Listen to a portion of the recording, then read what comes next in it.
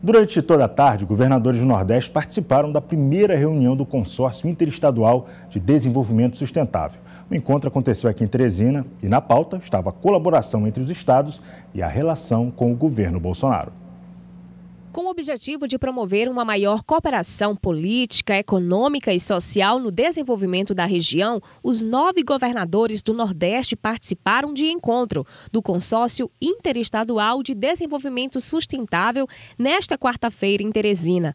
O governador do Piauí, Wellington Dias, fez a abertura do encontro junto com o governador da Bahia, Rui Costa. Participaram ainda secretários de governo e representantes do Legislativo Municipal e Estadual, além do prefeito de Teresina, Firmino Filho, que elogiou a iniciativa. O prefeito ele não é prefeito dos seus eleitores, o governador não é prefeito, não é governador do seu partido, da mesma forma que o presidente. Então todos precisam ter, quer dizer, ter esse compromisso de fazer, bem representar suas instituições, representar todos, né? É isso que a gente acredita. Em pauta, temas como educação, economia com investimentos para a região região Nordeste.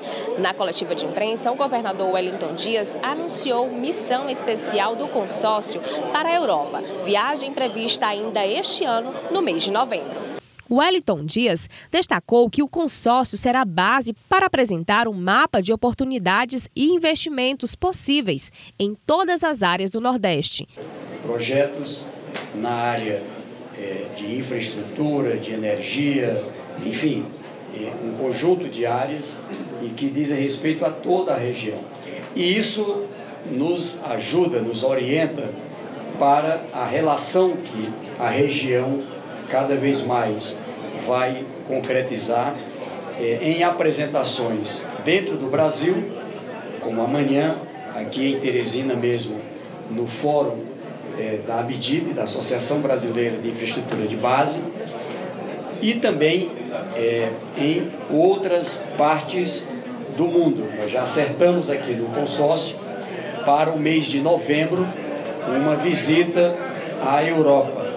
Governador da Bahia, Rui Costa, fez pronunciamento com as principais deliberações do encontro, destacando o que ele chamou de projetos integradores. Na segunda quinzena de novembro, na Europa, na Alemanha, França, Espanha e Itália, estamos negociando também com Portugal, e hoje deliberamos sobre os pontos que nós levaremos.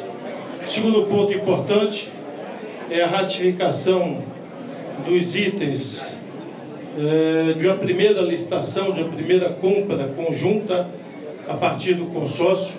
Será um registro de preço na área da saúde, de medicamentos é, e equipamentos o governador da Paraíba destacou que este é um momento de união e fortalecimento dos estados, ao responder sobre críticas feitas pelo presidente Jair Bolsonaro aos nordestinos.